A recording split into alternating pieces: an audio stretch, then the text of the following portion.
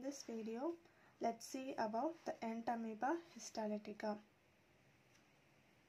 Before going into the brief concept of Entamoeba histolytica, first you should know where it is placed. It is placed under the category of parasite. Then what is parasite? Parasite is an organism who is dependent on another organism for its nutrition and survival. These category of organisms are placed under parasite. Parasite are divided into two, protozoan and helminths. Under protozoan, the Entamoeba histolytica plays a major role as pathogenic. Amoeba, it is a single-celled protozoan. It can constantly change its shape. The amoeba, it came from Greek word amoebe. It means to change. So, the amoeba can constantly change its shape according to the environment or its surrounding. Amoeba is divided into two based on its habitat. Habitat means where it can reside or where it can lives.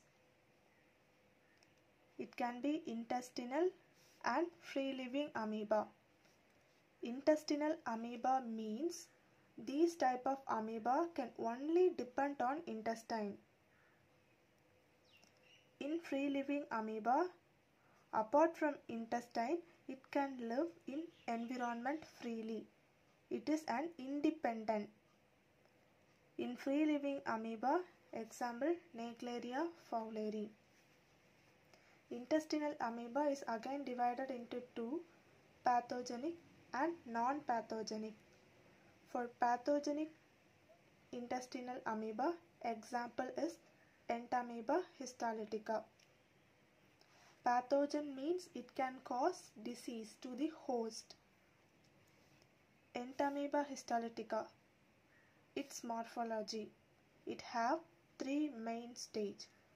First is trophozoite, second is pre-cyst form, and the third is cyst form. Trophozoite. It has these components pseudopodium, this ectoplasm, and the center one is nucleus. The trophozoite stage is considered as an invasive, feeding and replicating form. It has three terms invasive, feeding and replicating.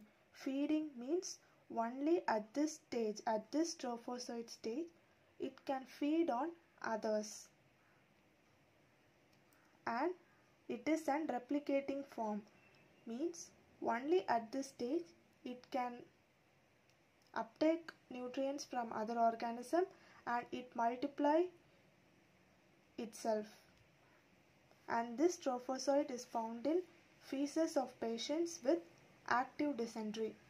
This trophozoite were only found in patients with active dysentery.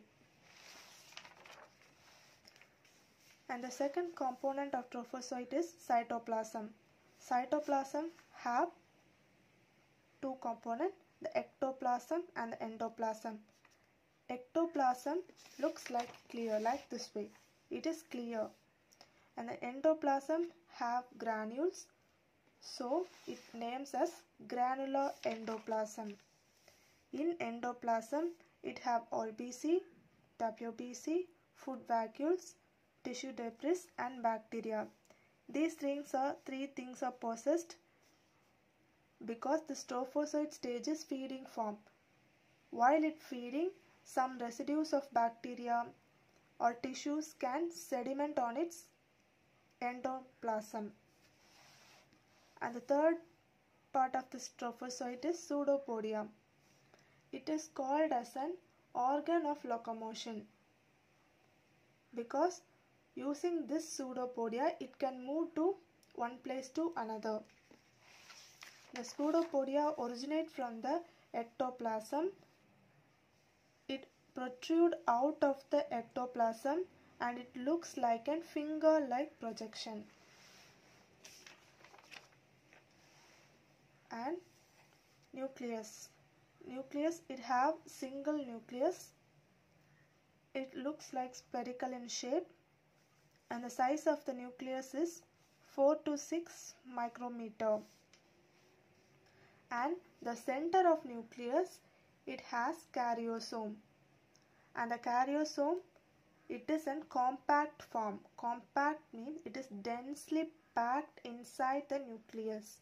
And it is surrounded by peripheral chromatins. Chromatin or nothing but combination of DNA and protein is considered as an chromatin. The space between the karyosome and the nuclear membrane in the, this in between space is arranged by radial spokes. These radial fibrils are called as achromatic fibrils. And the second stage is precyst. It is called as an intermediate stage because it is placed in between of trophozoite and cyst stage. Precyst it looks like oval with blunt pseudopodia means the pseudopodia is not fully grown. It is just some minute protrudes outside so blunt pseudopodia. The food vacuoles and RBC they don't appear in this precyst stage because they are not in the viable form. Only in trophozoite stage it is viable because it is the feeding stage it can feed here it is not a feeding stage so we cannot see food vacuoles and RBC in it. And the nuclear structure looks same as that of trophozoite. And the third stage is cyst stage. It is the infective and diagnostic stage of parasite. Again it have two terms infective and diagnostic form. Infective means it is ready to infect another host so it is called as an infective form. Why it is considered as diagnostic form means uh, we cannot see trophozoite or precyst in the stool of the patients. Only the presence of cyst we can diagnose the patient who is suffered from this disease or not. This cyst is present in feces of carriers. Carriers are those who possess this cyst or this cycle. They won't show any symptoms because they are immunity against this trophozoite so these cysts are survive in those hosts as and carriers.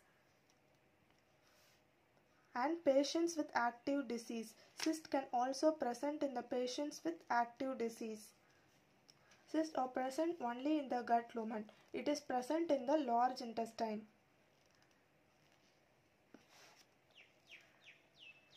First it is in the nucleated form and again it divides into binucleated, quadrinucleated.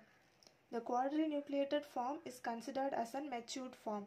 In the matured form of cyst, it has four nucleus.